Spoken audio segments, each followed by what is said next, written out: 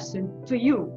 How do you think Rome would it look like? Well, looking the movies, we imagine something clean, uh, white columned, uh, all the people clean and dressed in togas, uh, with somebody with a face of Marlon Brando enunciating friends, uh, Romans, uh, countrymen.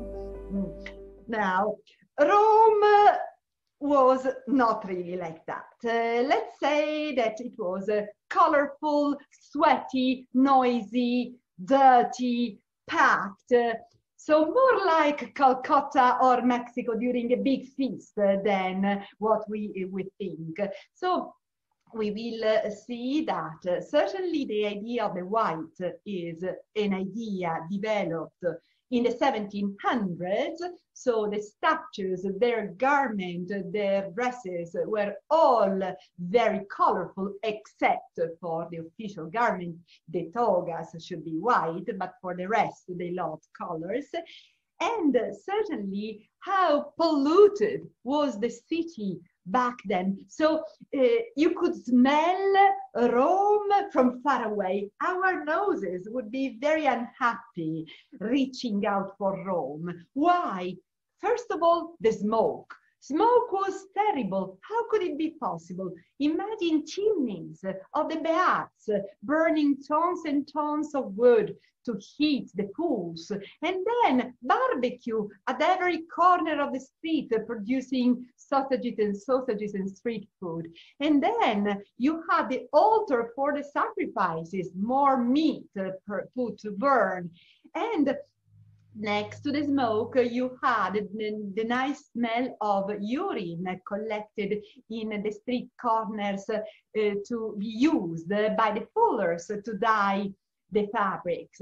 So um, something that would be very strong for our stomach indeed, especially leaving the city, most of the main roads were often lined with crosses where the decaying corpses of condemned criminals were exposed as a memento, so as a, a, um, an example of what happens to those who not respect the law.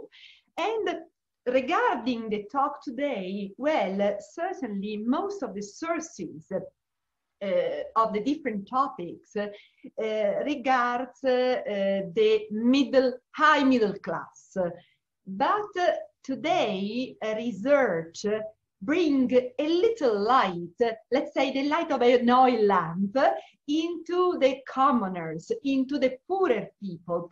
Only three years ago, in uh, the road, connect, along the road connecting Rome with the ancient port, Ostia Antica, archaeologists discovered a very large cemetery for the very poor people, the workers in the docks families and the average uh, um, life, uh, the, the average lifespan was about 40 years old, even less. And with moving they uh, they discovered a skeleton of a young man around 25 years old who was born with a disease that would have condemned him to the death. His jaws were jointed, so he could not eat. So the face revealed that they broke the four teeth in front to permit to a straw to pass through so he could be fed and survived this uh, disability for 25 years. So a sort of a compassion re-emerged from a society that was uh, in general pretty cruel, not respectful of human life. If you think that slaves in Roman law were called instrumenta vocales, which means talking tools.